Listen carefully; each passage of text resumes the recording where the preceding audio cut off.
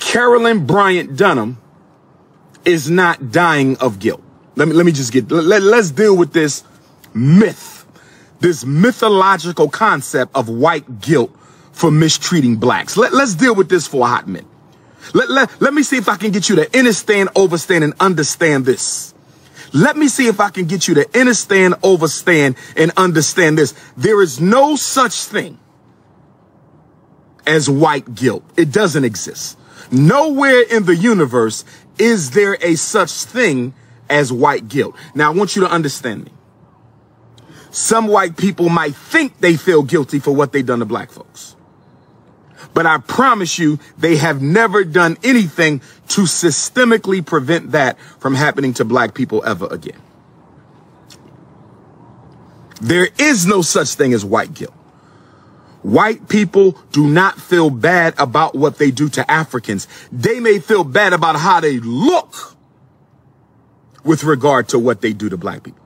They may feel bad about how they look, but they do not regret the actions. You don't do what they have been doing to us for four centuries and regret it. Okay? You regret something you've done wrong once or twice. But when you've been doing it millions of times for half of millennium, 400 years, there's no guilt associated with that.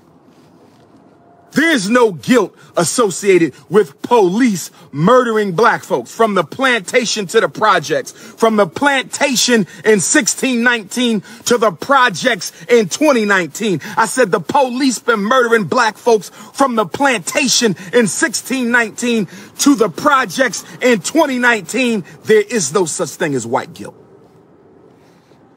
There is no such thing as white guilt. There is no such thing as white guilt. That is a metaphorical concept that the European power structure created to manipulate Africans into thinking they have a soul. I'm going to say it again. I'm going to say it again because nobody educates the African world like the prince of Pan-Africanism. Emmett Till's lynching, horrific, inhumane, barbaric lynching in the Mississippi grand jury the grand jury of Mississippi is not going to indict this woman, although she had an unserved arrest warrant.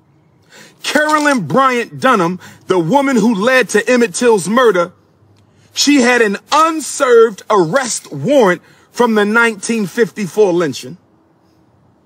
Or 55, I forget the exact year, 54, 55. She had an unserved warrant because she was believed to have been in the truck that night that abducted Emmett Till, or she was at least believed to be in a car that accompanied the truck that abducted Emmett Till that fateful night in Money, Mississippi. So she was party to a crime.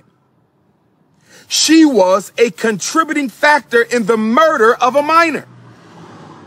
So somebody got to help me understand how a white woman who triggered the horrific, barbaric, historic lynching of a black child. She triggered it. She led them to the, she identified him. She celebrated Emmett Till's murder. But the grand jury of Money, Mississippi will not indict. Snow bunny privilege all over again. They have dug up Emmett Till's body and buried it again with this disrespect. They have dug up Mamie Till Mobley's body, Emmett Till's queen mother. They just dug up the body metaphorically and buried her again. How dare you give Emmett Till a Congressional Medal of Honor? Carolyn Bryant Donham. According to American Criminal Justice Code, there is no statute of limitations on murder. According to the American Criminal Justice Code, there are no statute of limitations on murder. So, according to the American Criminal Justice Code, there are no statute of limitations on murder. So if there's no statute of limitations on murder, brothers and sisters, I need you to help me. I need you to help me understand, overstand, and understand. I need you to help me understand, overstand, and understand. If there's no statutes of limitations on murder, how in the hell is Carolyn Bryant Donham not in jail? How is she not indicted?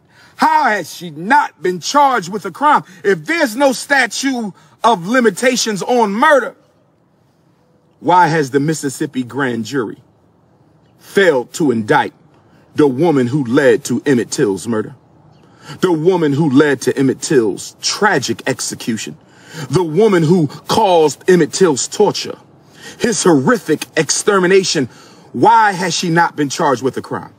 Mississippi grand jury, the Africans of America and around the diaspora demand an answer. Why? How you doing, beautiful? Why has the white woman whose behavior triggered Emmett Till's murder, why is she not being charged? Because she's old and white. The unwritten rules of American society, she is old and she is white.